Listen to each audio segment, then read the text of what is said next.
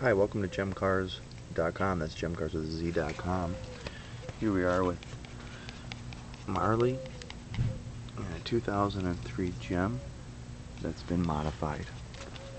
We're going to take it for a little bit of a ride and show you what life with a modified Gem is like. It's very different than life with a regular Gem.